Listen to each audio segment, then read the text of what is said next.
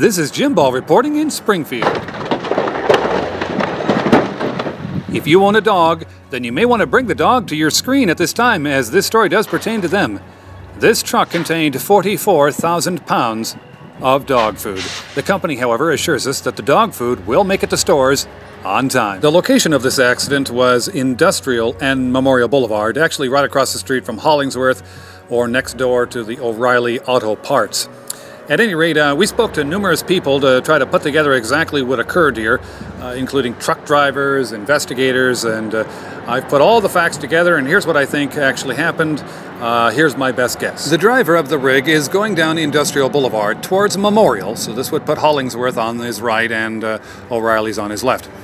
At any rate, um, he clears the crest of the hill and decides to hit the brakes. Upon doing so, he reported hearing a popping noise. Well, apparently, this popping noise was the four set of rear tires at the very back of the rig. They are apparently adjustable and can be moved forward or backward depending on the type of load or how heavy it is.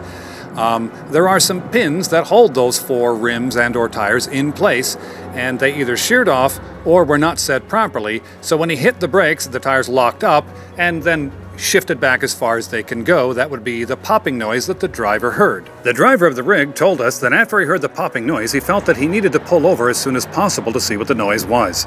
He saw the convenient driveway and began to pull in. But remember, his rear axles were not where he thought they were now. They had actually slidden back several feet, meaning that in order to make this turn, he needed to go higher and wider. But he didn't know that because he didn't know that his axles had slidden back.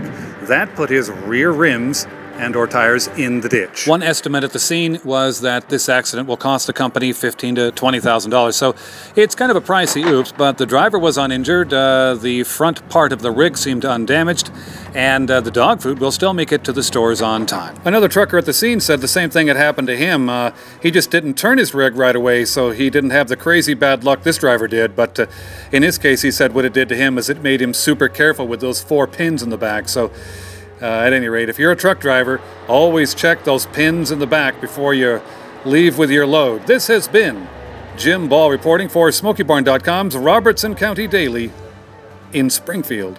When you're facing a medical emergency, time is critical.